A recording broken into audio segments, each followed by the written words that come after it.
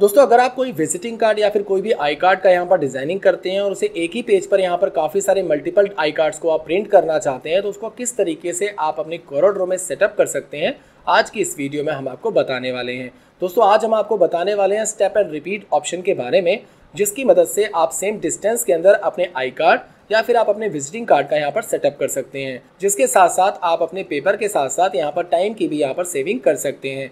तो वीडियो को अंत तक ज़रूर देखिए। वीडियो आपके बहुत ही काम आने वाली है। तो चलिए वीडियो को शुरू करते हैं। तो दोस्तों, आप यहाँ पर देख सकते हैं, हमने यहाँ पर एक आई कार्ड लिया हुआ है और इस आई कार्ड को हम यहाँ पर एक इक्वल पोजीशन में पेज के ऊपर सेट करने वाले हैं। यहाँ पर आप देख सकते हैं, हमने यहाँ पर जो अपने पेपर का साइज़ लिया हुआ है, वो लिया हुआ है चौदह बाय बीस का। और इसके हिसाब से हम यहाँ पर अपने आई कार्ड को यहाँ पर सेट करने वाले हैं। प्रिंट करने के लिए तो उसके लिए सबसे पहले हम यहाँ पर आएँगे एडिट वाले ऑप्शन पर और यहाँ पर आप देख सकते हैं आपको यहाँ पर एक ऑप्शन दिखाई देता है स्टेप एंड रिपीट का इस वाले ऑप्शन को आपको यहाँ पर सिलेक्ट कर लेना है इस ऑप्शन पर जैसे ही आप यहाँ पर क्लिक करेंगे तो आप यहाँ पर देख सकते हैं आपके सामने यहाँ पर आपको एक ऑप्शन दिखाई देता है स्टेप एंड रिपीट का जिसमें आप सबसे पहले देखेंगे यहाँ पर आपको हॉरिजेंटल सेटिंग आपको दिखाई देगी जिस पर आपको क्लिक करना है दोस्तों इस पर क्लिक करते ही आप यहाँ पर देख सकते हैं आपको यहाँ पर तीसरा ऑप्शन दिखाई देगा स्पेसिंग बिटवीन ऑब्जेक्ट का, इसको आपको यहाँ पर सिलेक्ट कर लेना है।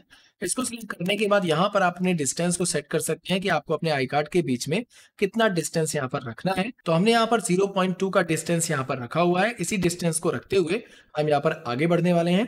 इसके बाद आप यहाँ पर देख सकते हैं आपको जो डायरेक्शन का डिस्टेंस है, वो आपको यहाँ पर राइट साइड में दिखाई दे रहा है। तो हम बाई डिफ़ॉल्ट इसको राइट साइड में ही रखेंगे, क्योंकि हम इसकी कॉपी राइट साइड में करने वाले हैं। इतनी सेटिंग करने के बाद आपको यहाँ से आ जाना है वर्टिकल सेटिंग्स पर। स्पेसिंग बिटवीन ऑब्जेक्ट का, इस पर आपको क्लिक करना है और यहाँ पर आपको लेना है नो ऑफ़ इसको सेलेक्ट कर लेना है।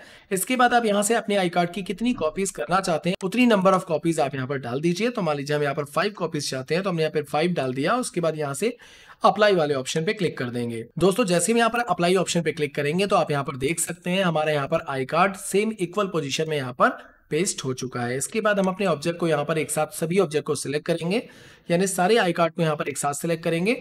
सिलेक्ट करने के बाद आपको हॉरिजॉन्टल वाले सेटिंग्स पर वापस से आना है और उसे यहाँ पर कर देना है नो ऑफसेट दोस्तों नो ऑफसेट करने के बाद अब यहाँ से आपको वर्टिकल वाले ऑप्शन पर आना है और यहाँ से आपको स्पेसिंग बिटवीन ऑब्जेक्ट सेलेक्ट कर लेना है और यहाँ पर आप देख सकते हैं आपका डिस्टेंस जो दिखाई दे रहा है ज़ीरो पॉइंट इंचेस का यहाँ पर आपको दिखाई दे रहा है।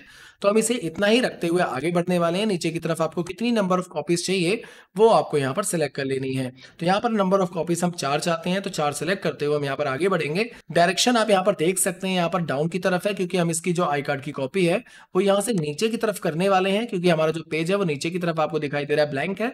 हम यहाँ पर इसकी कॉपी करने वाले हैं तो इसलिए हम इसकी पोजीशन डाउन रखेंगे और उसके बाद यहाँ से अप्लाई वाले ऑप्शन पर आपको सिंपली क्लिक कर देना है।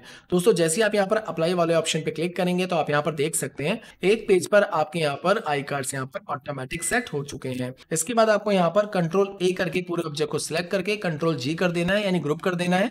ग्रुप करने के बाद इसे हम यहाँ से हटा लेते हैं और उसके बाद आपको अपने कीबोर्ड से प्रेस करना है पी दोस्तों पी प्रेस करते ही आप यहाँ पर देख सकते हैं, आपका जो ऑब्जेक्ट होगा, वो बिल्कुल पेज के सेंटर में सेट हो जाएगा। मैं आपको एक बार फिर से दिखा देता हूँ। जैसे हम अपने कीबोर्ड से पी टाइप करेंगे तो आप यहाँ पर देख सकते हैं ऑब्जेक्ट हमारा बिल्कुल सेंटर पॉइंट में पेज के अलाइन में सेट हो चुका है। इसके बाद आप यहाँ पर एफ़ करके इसको फोकस कर सकते हैं और देख सकते हैं आपका आई कार्ड यहाँ पर प्रॉपर तरीके से पेज के ऊपर सेट हो चुका है। तो दोस्तों, इस तरीके से आप कोरोड्रो के स्टेप एंड रिपीट ऑप्शन का इस्तेमाल कर सकते हैं।